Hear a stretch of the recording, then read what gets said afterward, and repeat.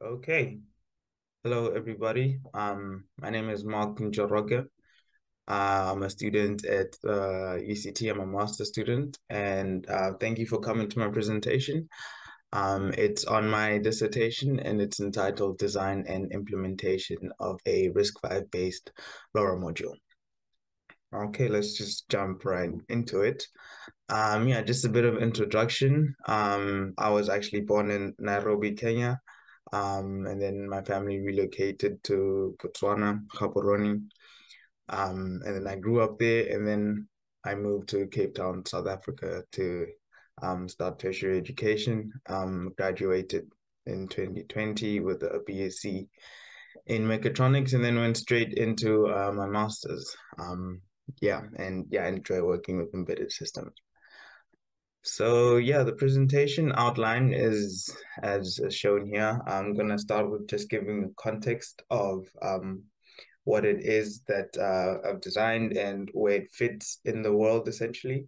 Um, and then I'm gonna go into the design of the system, both the PCB and the SoC.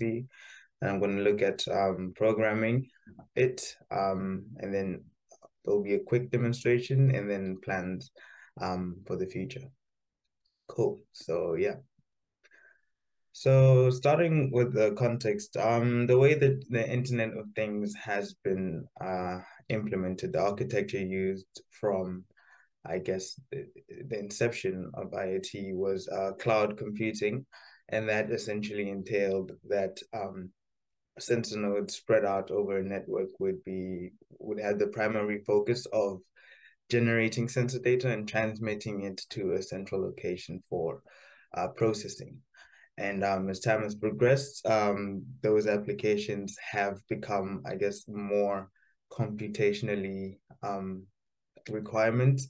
And um, yeah, as well as the sheer number of sensors being used, there's, there's been an increase. So what does that what what that has led to is um, more need for higher processing power essentially um, and also reducing the traffic in the network system. So what what has been um, looked at is moving away from cloud computing and into edge or uh, fog computing. And what that is is just bringing the computational power closer to the end node. Um, yeah so essentially um, this project is a look into um, contributing to that um, shift um, and yeah, so I chose RISC-V and LoRa, Um, and I'm gonna go into um, both of those technologies. So yeah, starting with LoRa, it's essentially a uh, wireless communication protocol. Um, and it stands for long range. Um, you can see it's uh, it uh, has distances of up to 50 kilometers, which is um, pretty great for uh, IoT use cases. So, for example, using it in a smart city system where you have sensors um, spread out over over the city. Uh, additionally, some other features that are quite desirable about LoRa is that it's uh, free to use. That's both the network um, usually used with LoRa, LoRaWAN, and also the frequency bands that uh, LoRa chips transmit in you. They're basically unlicensed, which means you don't need to pay um, to transmit in those frequencies. Um, yeah, it's also um, highly sensitive and low power, which is very ideal for um, imagining a sensor network with sensors um, being deployed for multiple years at a time. And um, yeah, it's also designed for low bandwidth to help with that fact. Um, so you can only transmit um, little packets of data, but you are you are sure that they will be received and um, they can also go over a long distance. Uh, moving on to RISC-V, um, it's uh it's basically an open source um, ISA, and that means that CPUs um, designed for the RISC-V ISA are shareable. Um, there's no um, licenses or fees that you need to pay to buy or use the CPU, which um, basically has generated a lot of collaboration um, and also research into making CPUs. So yeah, that's why I chose Risk Five. Um, speaking about the research a little bit, um, there's been specific IoT use case SOCs um, that have been developed um, and they focus on higher order um, computational that uh, edge computing is looking at. So examples of those would be AI or um, signal processing. Um, and yeah, combining these two, um, RISC-V LoRa, I managed to create the LoRa dongle, which is um, the shorter, more catchy name of um, the board. And yeah, essentially what it is is that it's a low cost, fully open source custom PCB um, that houses a customizable SoC and offers reconfigurable logic. And yeah, now we're going to go into the design of the board and yeah, let's just uh, jump into it. So there's been two revisions, two prototypes that have been um, implemented so far, um, with the second one being fully functional. It's more of an evolution of the first. Um, yeah, naturally with the first prototype, there was a couple of um, issues and errors along the way, but it, it worked for the most part. But um, yeah, there was always a plan to improve it on the second prototype and fix anything that came across. So yeah, um, the changes that were made, I'm gonna I'm gonna go into it in more detail um, in the following slides. But just the overview is that I changed a couple of the ICs I made chose more applicable ones, um, reduced the size, also added a breakout section. That's the little bit sticking out at the bottom. Um, that houses a gas sensor, and that's more like a demonstration of applicable use cases um, for this. So an example would be like an indoor air quality measurement thing, um, whatever. And yeah, uh, another thing is that the price, the price difference between the first board and the second board, as you can see, was about like 20 times cheaper. Um, I will explain why later in one of the changes that made, but it was one big change that happened. Um, yeah, so the functional block diagram of the PCB is this. It's um, I, I, it's quite simple, I, I believe. Um, hope not, but uh, yeah, just to talk you through it. So starting from the left, it uh, has the USB connector, which goes um, the USB signals goes into a con uh, converter from uh, USB protocol to SPI and GWAS. Um, so that's the FTDI chip, and then um, the SPI goes to a 128 megabit SPI flash, that houses um, configuration data for the um, FPGA, but um, it also has the ROM region of the RISC-V CPU. Um, yeah, and then um, the SPI flash is connected to the FPGA and CPU using um, SPI as well. Um, the FPGA is a Lattice iCE40 um, UP5K, so that's 5,000 lookup tables. It's relatively small in um, the world of FPGAs, but it's it's it's it's enough for a prototype. Um, and then it uh, is connected to a gas sensor using I squared C, and then it's connected to um, the LoRa transceiver, which uh, is from Semtech. Um, yeah, so the changes that were made uh, with the FTDI chip, the package of the FPGA, and the SPI flash. Um, the LoRa circuitry was kept the same um, because uh, I'll get there, but essentially I wasn't able to test it in the first revision. Um, so yeah, I didn't know what what would needed to be changed for the second one. And then um, the final connection is a 16 pin header to the unused pins of the FPGA. That's actually probably um, a, a really good uh, addition because it uh, gives an opportunity to add extensible um, circuitry, extensible applications for um, the, the LoRa dongle as well. Um, okay, so starting with the changes that I made, um, I'm going to start with the FTDI chip, as I mentioned.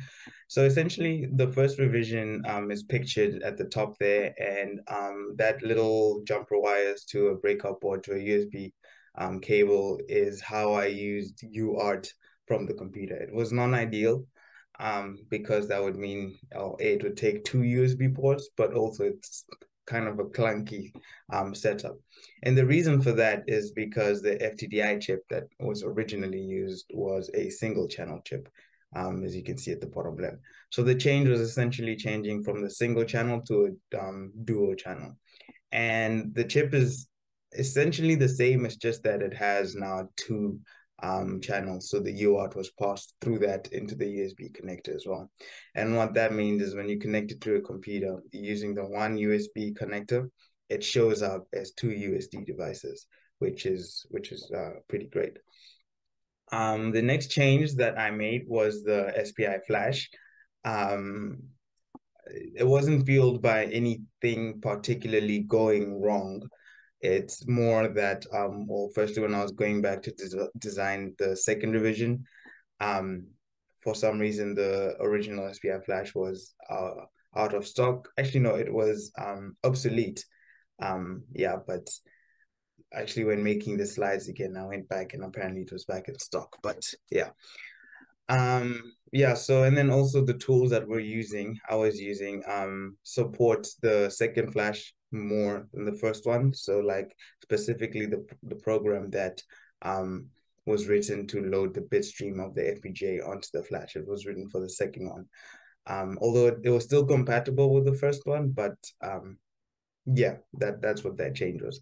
But it was actually a um a positive change in in the sense of the memory allocation. So the first one was about a 32 megabit SPI flash, and the second one, it says there at the bottom, it's 128 megabits. So it's a much larger flash chip that was used and um, basically bigger um, space to work with in, in the firmware writing specifically. Um, in terms of cost, they're relatively the same price. Um, about I think it was 30 cents a difference between the two. And then, um, yeah, power consumption is also pretty much identical. So yeah, I think this was a positive change as well.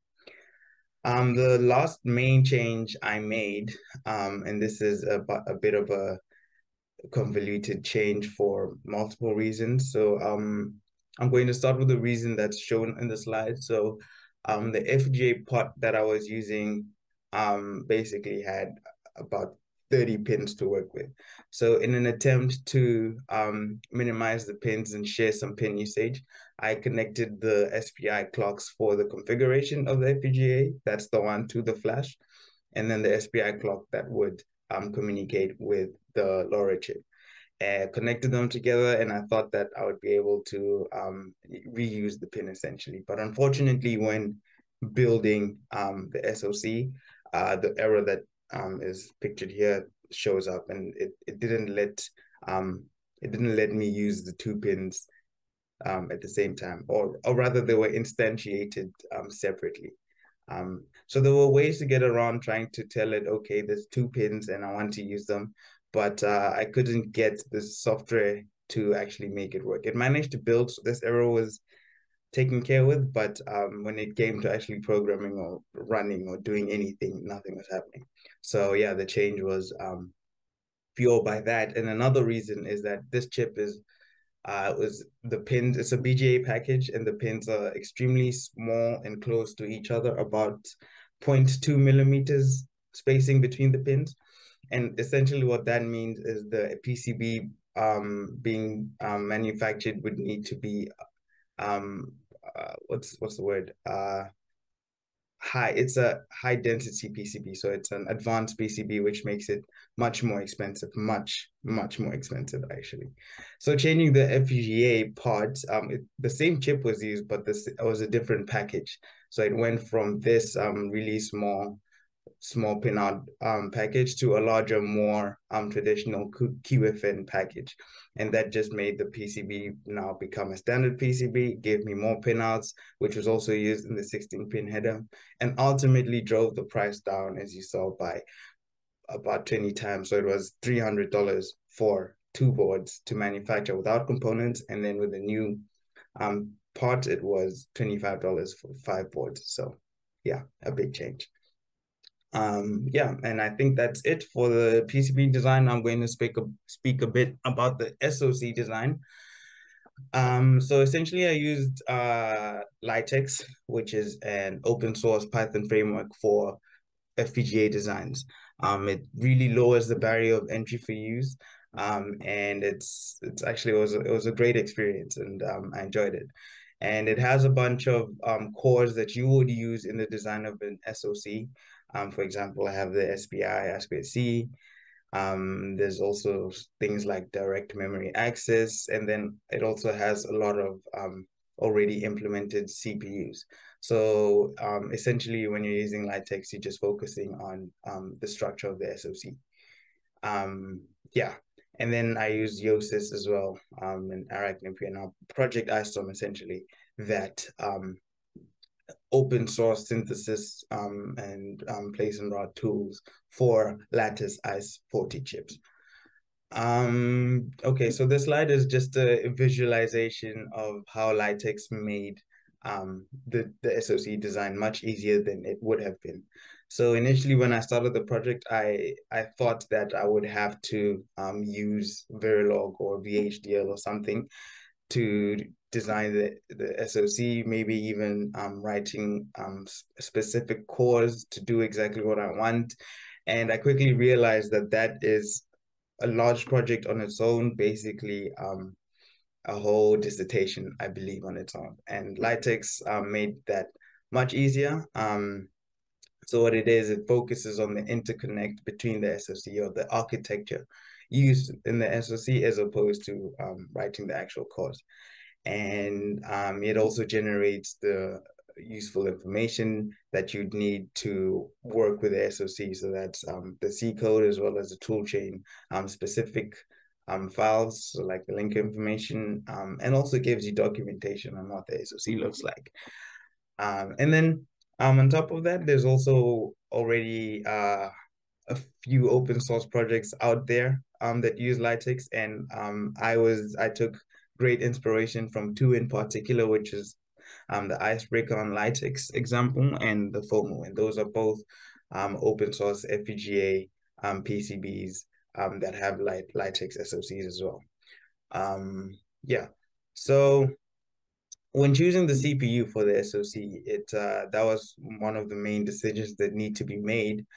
And um, how it came about was in okay. Initially, we started by um, just doing simulations or looking at documentations of the CPUs out there to figure out just how much resources or how big an FPGA um, would be needed. And uh, we, we, we quickly realized that uh, most SoCs or most um, implementations had um, large um, FPGAs and which would drive the cost of the board to be quite expensive. Um, and um, as well as a first prototype, we want more of a proof of concept. So we look for a cheap um, FPGA before um, anything. So yeah, we settled on on SERV, sorry, um, which is a really small um, CPU that's um, actually already implemented on LiteX. Um, yeah, so we use SERV, and then as we um, programmed further and needed a bit more um, complexity for the CPU, for example, interrupts as um, uh, we we we realized that we might need a bigger one, so I just uh, implemented it with PicoRV32 as well, um, which is also used in LiteX. And it says they're minimal because it's the minimal variant um, that's specified by LiteX, and that's um, only mostly because the full version um, wasn't was too large as well again to fit on the FPGA. So that's that was the choice of CPU. It's uh, SERV or Pico RV. Um, and then the other specifications of the SoC. Um, so just a quick rundown. It's a pretty, I guess, the base level implementation, just what I needed to get um, uh, a proof of concept down. So um, there's definitely room for improvement and um, uh, massaging, but essentially it's the CPU, as I mentioned earlier, and then there's about 128 kilobytes of RAM, and that's used as the dedicated SPRAM block in the FPGA. Um, and then there's also um, eight megabytes of ROM, and that is stored in the SPI flash. So as I said, this the second flash was larger, which um, also gave us larger ROM to work with. And then there's also just uh, communication cores. I mentioned UART, SPI, and I2C already. And then just general GPIO pins. Um, so there's the two LEDs just to show indicate transmitting and receiving. And then um yeah, some LoRa configuration pins. Those are just things like a busy pin or the reset pins, etc. So this is the block diagram of the SoC. Um, it LiteX operates with a wishbone bus, um, and basically every um, peripheral or core in the SoC is given an address on the bus. And in order to interact with them, you just read and write at those addresses. Um, so the CPU serves as the master on the wishbone bus, um, and um, it handles the the transmitting and receiving of um, commands on the wishbone bus. Um, so the GPIO I2C um, SPI, that section on the wishbone bus is under a specific name, which are the CSR registers. And what that is in LiteX is um, basically just memory mapped input output registers. So that means the CPU writes to a section on the CSI CSR section in the wishbone bus that corresponds to um, a register that could be, for example, a SPI um, MISO register. So that's how you'd interact with the peripherals um, with the SoC and uh, using the CPU. Um, yeah, and another thing is that the those registers are also generated by LiteX, but I believe that um, I'll explain that uh, later on. So this this table just shows uh, an example of the resource utilization by changing the two CPUs. So for this test, um, basically everything about this SoC was um, kept constant except the the CPU being used. So the only change that was made is the CPU being used. And as you can see with SERV, the the smaller CPU, um, less than 50% of the lookup tables was actually used by SERV. And that leaves a lot of wiggle room for uh, extensible designs and also using the FPGA fabric. Um, yeah, and then Pico RV, the minimal variant, as mentioned earlier, uh, uses a bit more, but still leaves a bit um, a, a bit of room to work with. And then the minute block RAM um, SERV once again uses less, I mean half than um, Pico, and then the SP RAM is is hundred percent for both because that was um, predefined um, to use the block RAM, I mean the SP RAM on the FPGA. Okay, so um, now I'm going to look at the code a bit.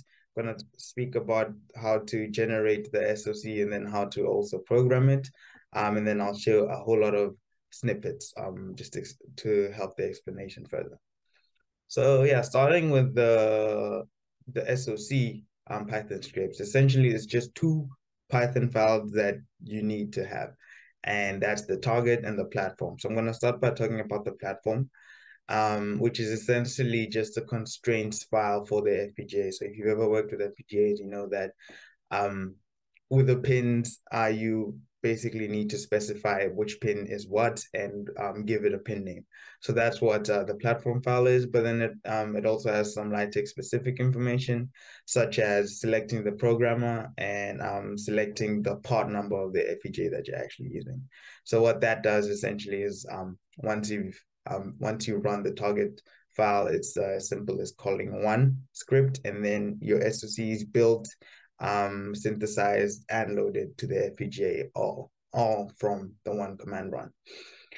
Um, yeah, moving to the target, as I mentioned, it's uh, now focuses on configuring of the SOC. So that's um, setting up the different peripherals, um, the different CPUs, any other settings that you might want to have, one might want to have on the SOC. Um, and then it also handles the building and the loading of the SOC as well. Um, so yeah, this is a screenshot of a section of the platform. Um, is the constraints section. Basically, there's that IO list, and it shows that the different pins are mapped. Pin names are mapped to physical pins on the board. Um, yeah, on the FPGA, I mean. And then this is a section um, of the platform that uh, basically instantiates um, the part number that's being used and giving it the IOs, and then also um, setting up the programmer, the IceStorm programmer, which is the Yosys um, tools that I mentioned earlier. Here's the target. Um, so this is all the inputs necessary for the SOC as it is now. Um, so you import the various LiteX cores and implement and classes that they have. So for example, um, there's the the SP RAM that we're going to use to use as RAM. Um, there's the builders, there's the programmers, um, and then further down, you can see the SPI classes, GPIO classes, etc. And then also the section that I highlighted showing that um, importing the platform that we defined earlier. Um, yeah. Um, looking at the SOC, I mean, at the target, I'm just gonna quick rundown of what it's doing from the jump, from the start, I mean. Um, so yeah, first it statically defines a memory map that's just to ensure that when you change versions that everything is where you expect it to be. And then the initialization functions first step is to initialize the platform that's been defined. Um, and then the selection of the cpu type. Um, as you can see it's as simple as just changing the keyword key keyword argument um, that will be passed on to the SOC builder, just changing the name from SERV to Pico RV.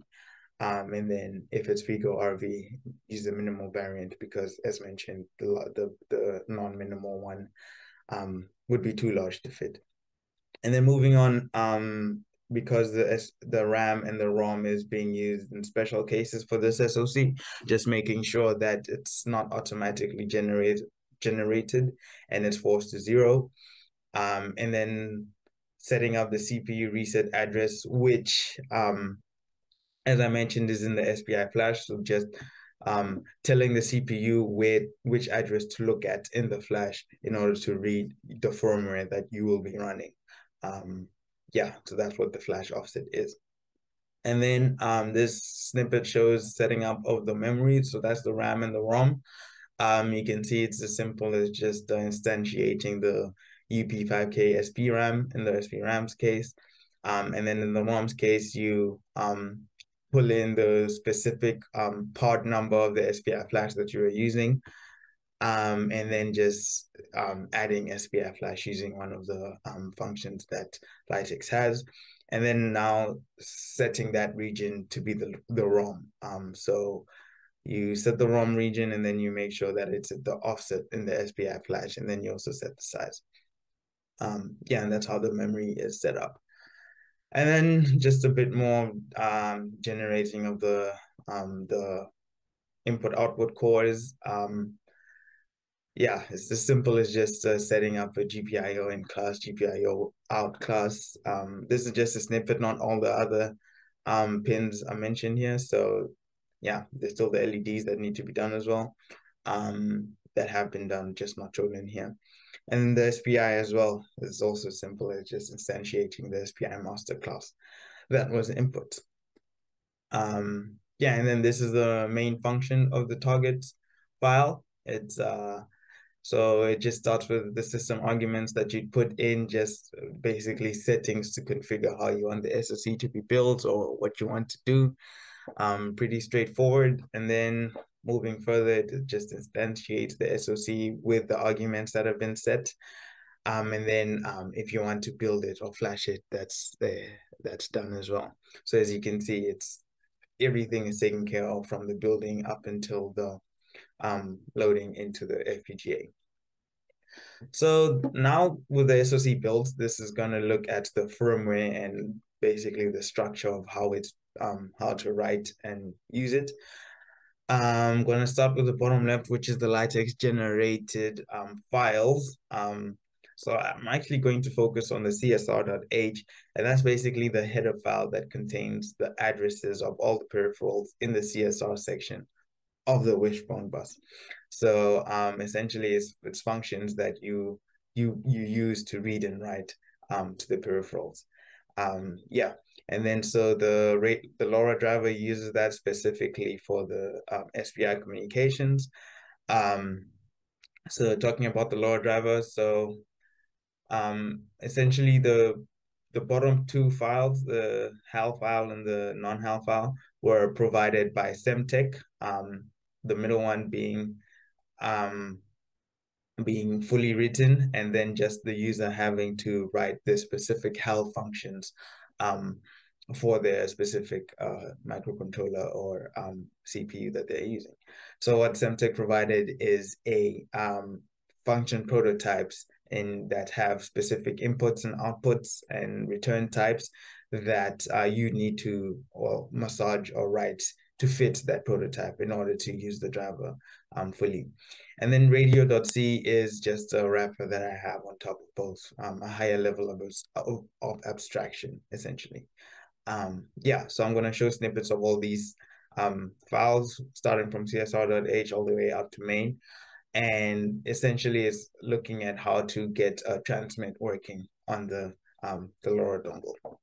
So starting with the csr.h, um, yeah, so you can see from the top left, that little section just sets up the CSR base um, address value on the wishbone bus. And then, um, yeah, the, sub the subsequent um, functions and addresses all relate to that. So you can look at the GPIO. This is just an example of how the LEDs is written. This is actually the entirety of the LED um, section for the CSR bus. Um, yeah, there's just those two functions that just read and write the CSR address. So when implementing in the, your own application code, all you need to do is just call LEDs out read or LEDs out write. Same thing can be seen there with the SPI section. Um, this section just shows the MOSI and MISO registers as well as the chip select. Um, it's the same situation. It's just uh, all you need to do is call the specific functions for the registers that you want to interact with. Um, yeah. So working our way up from the on the LoRa radio side of things. So this is just a snippet of the um, the HAL write. So essentially what this function does, it writes um, SPI to the LoRa chip um, over the MOSI um, line. Um, yeah, so you can see that at the top, the inputs and the outputs have been determined already by Semtech. So all you need to do is use those and transmit it to um, the LoRa chip using whatever functions that's applicable to your microcontroller or um, CPU. And yeah, in this case, because it's uh, using LiteX, there's all those LiteX generated CSR functions. Um, all it does is just sets up the SPI communication. So those two for loops are basically um, writing to the MOSI register the relevant bytes and then transmitting them. The read function is also the same, HAL read. Um, it's just that as as opposed to um, writing the MOSI register, you're reading the MISO register. Uh, moving on, uh, there's now the Semtech provided um, main driver file. Um, and I've just uh, highlighted two sections that um, show the write register and read register functions. The file is actually extremely huge and it essentially has, well, every command that's um, stipulated in the data sheet, which is which is nice. You don't have to write any of that. But uh, you can see I've highlighted that um, these commands use the HAL write and HAL reads that we looked at in the previous slide. And essentially every function in this file um, ends with using one of those two functions. So you can see how they've had a good way of abstracting um, how you'd be able to write and read um, from the LoRa chip. So yeah, this is um, a write register. So it just writes um, whatever value that you want into the register on the LoRa chip. Um, yeah. Moving on here is the radio.c. Now this is the wrapper that I um, wrote on top of the driver. And this section just shows a transmit code, um, which essentially um, is the steps that are needed to be taken in order to transmit um, via LoRa using the board. And yeah, you can just see it sets up the transmit LED, turns it on, and then it prepares buffers, configures to transmit, and then sets to transmit. Um, and then those functions are also showed there um, below. And what they are is just using the the files in the driver that Semtech provided um, using the function, sorry, and uh, calling them. Mm, yeah. Um, and then the main.c, this is now just the user application code, um, just sending a ping. Essentially, set the message and then you initialize the various things in the main function. And then in the while loop, all you do is if you're transmitting, you just call the, the transmit function that I, I showed in the previous slide. Um, so yeah, it's I think it's a good level of of abstraction from um, the lowest level up until the main function, and that's essentially how you um, transmit yeah using the port. So I'm now going to show a quick demonstration. Um, of the transmit being picked up by the spectrum analyzer. And it's just a video. Um, if this was in person, I had a, a better demonstration to show, which was um, the ping, um, pinging from one LoRa dongle to the other. But unfortunately, I wasn't able to uh, make it in person. So this is um, the next best thing of a demonstration. So yeah, so this is a spectrum analyzer. It's not picking up any signals right now. And then I connect the LoRa dongle and it turns on. Um, and I don't know if you can see, but the LED is flashing. And then we go back to the spectrum analyzer and you can see that there's a peak at the transmit frequency. So just to make sure that um, it wasn't any wayward signals, I disconnect and yeah, there's no peak. And um, yeah, so this was actually the first time I was able to um, get transmit working and I was quite excited. Um, yeah. Okay, so I do have some documentation. Um, it's not thorough, it's not complete, but it's enough to essentially get the board manufactured, um, build a SoC, and then start writing programs on it. So it's uh it's an interesting um website. It's live now already. You can go click the link and you can just read more about it. Um, yeah, I can see I have a getting started. This just focuses on installing um, tool chains or um, LiteX as well. And yeah, things like that. And then this this tutorial as well as uh, starting off from nothing into getting Blinky working on the LED. Um, yeah. So future plans, um, this is both for um, my immediate completion. Um, so by the end of this year, um, and then also beyond, like moving further into um, the LoRa dongle lifespan. So, well, firstly, as I mentioned that, uh, actually, I'm not sure I did, but the second prototype was actually only received like last week. So I've only only had a few days to play with it, which was getting that transmit working in the demonstration. Um, so it's still in the early stages of testing. There's still a lot of testing that I would want to do. Um, and that uh, covers um, specifically CPU related things. So things like latency, how long it takes to transmit messages, um, how long the computation takes to do that, um, bandwidth and throughput, how much you can actually, how much data you can send in a given time. Um, range testing, I plan to see how far I can actually transmit because I know LoRa is supposed to be um, long range. Um, so I want to see the capabilities of my PCB.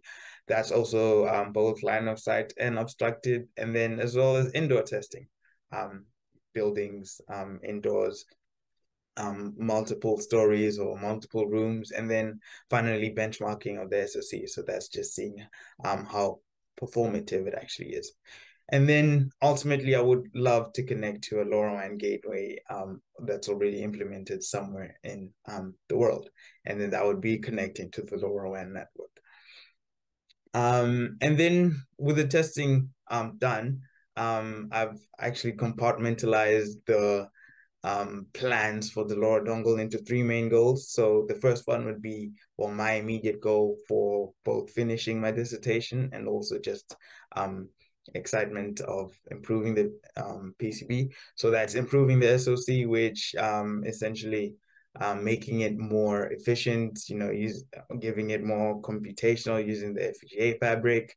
Um, and yeah, just improving that in general. And then moving on, I'd want to be able to run Linux on it um, on the LoRa dongle, but that's a bigger um, endeavor, and that's because it would need a, a larger FPGA there are there are examples of LiteX running Linux, like it's been done before. I actually used it on a dev board. Um, but yeah, being able to do that on the LoRa dongle would, as I mentioned, require a much larger FPGA, and therefore that would mean um, redoing the whole board. So yeah, that's like more of a long term goal. Um, but I do think it would also do much better in terms of contributing to edge computing. And then finally, with that done, it would be seeing it being used in the in, in industry.